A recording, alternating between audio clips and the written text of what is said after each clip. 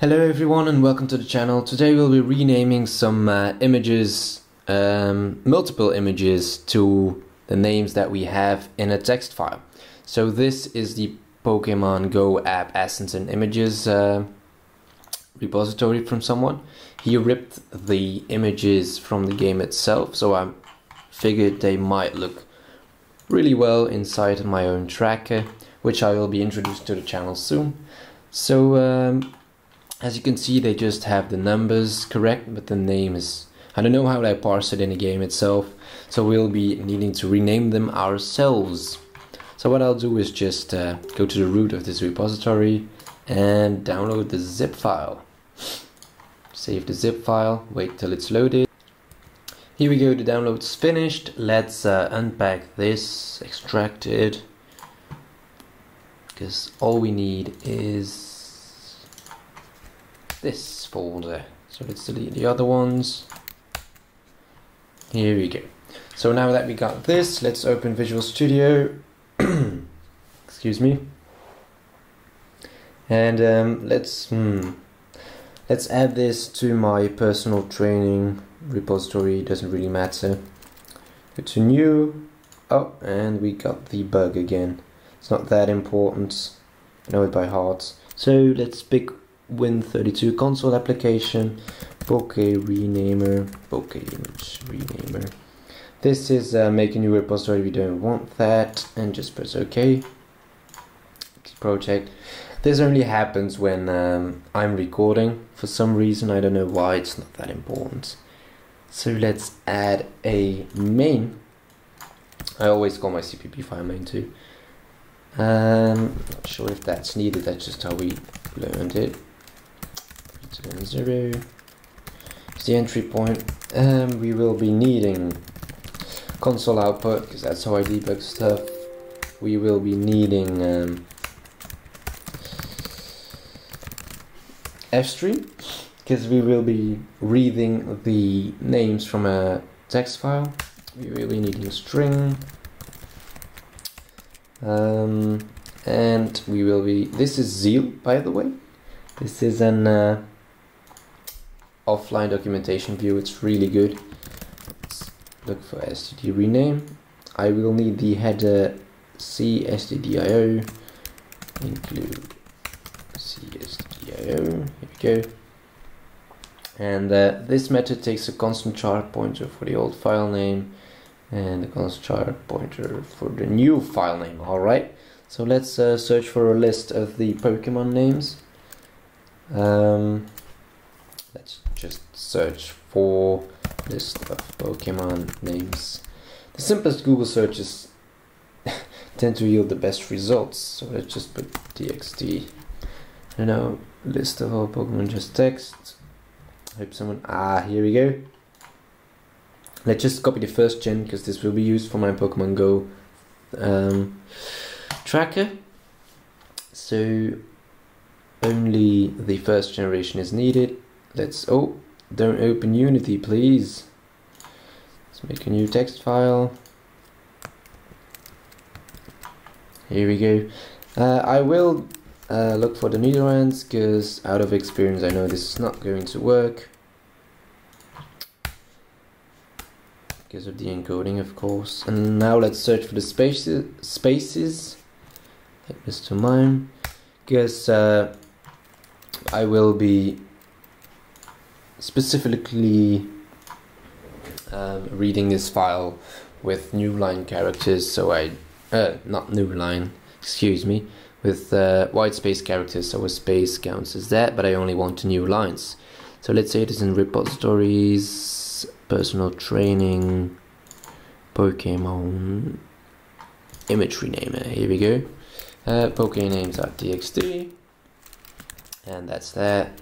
Let's just um, go here. Let's open that file. Uh, for convenience, I will be using namespace std. For simple projects like this, I like to use that. So let's use input stream file, open pokenames.txt, then uh, quickly check if it failed, because you might lose time on that, which you don't want to. fail to open input file delete. Um, and then what I will be doing is um, I'll be reading line for line, but I like to instead of reading the line then renaming a file, I like to just read the whole file then close it. So uh, save all the lines in a vector or strings. That's how I like to do it. Uh, for a project of this scope, it doesn't really matter that much. Let's um, do this. Let's make a vector of strings. Call it names because these will be all the names.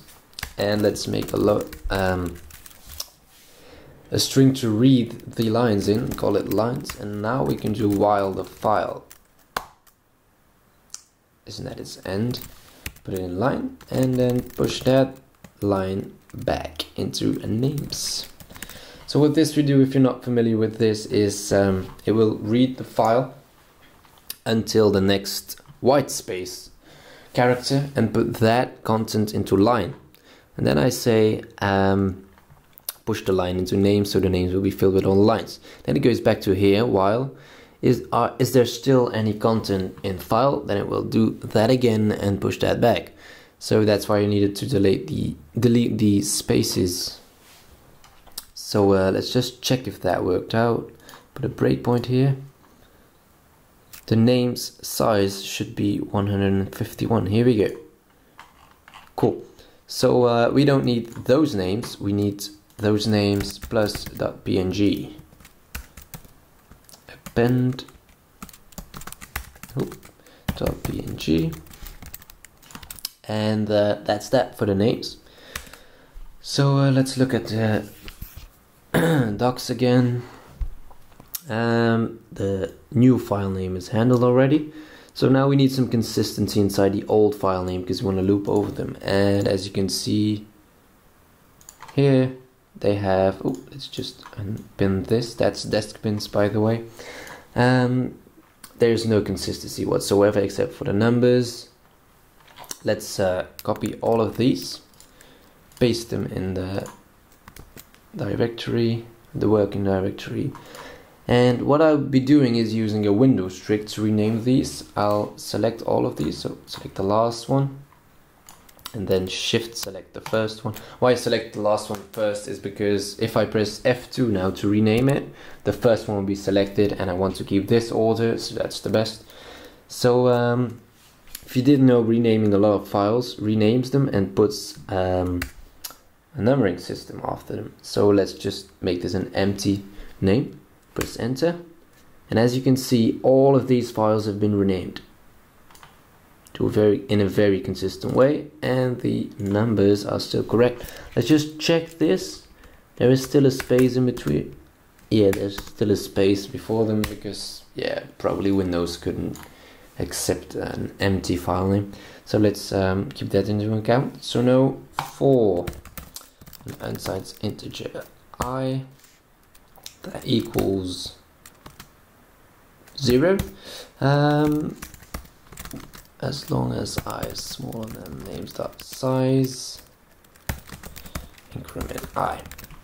So we what we want to do now is um, let's just will I this?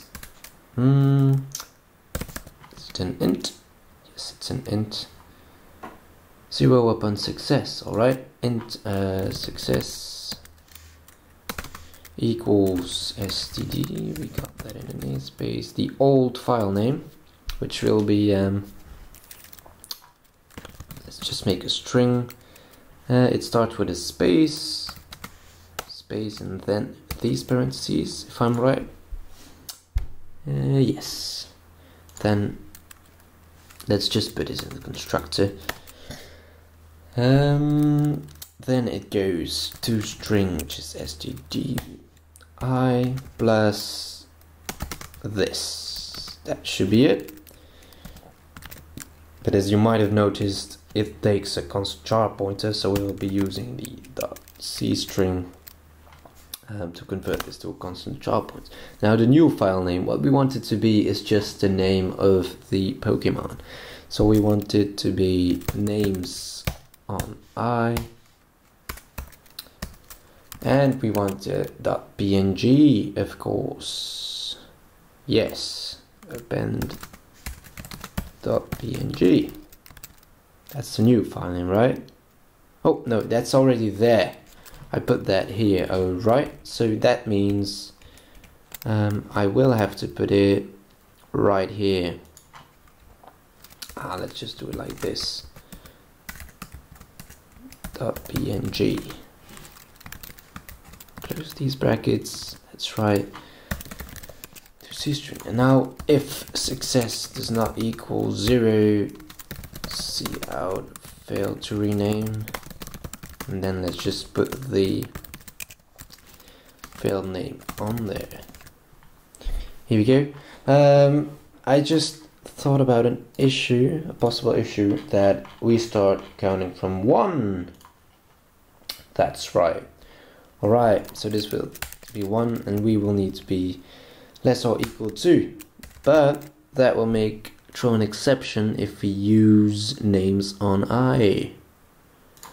Let's just put minus one in here. Minus one in here. Alright this should be it. Let's um, bin this for now I might get some errors but they won't shouldn't be too hard to fix. Uh, I'll press Control F5 because I don't want the program to close immediately. No errors and here we go. As you can see all of the um, files have been renamed and this is Abra. Let's just test some B drill, Kadabra. so that's it for today guys. Thank you for tuning in. Hope you learned some things. And um, make sure to subscribe and leave a like. I enjoy making these. And some positive feedback or just feedback that isn't just destroying me is always welcome. Thank you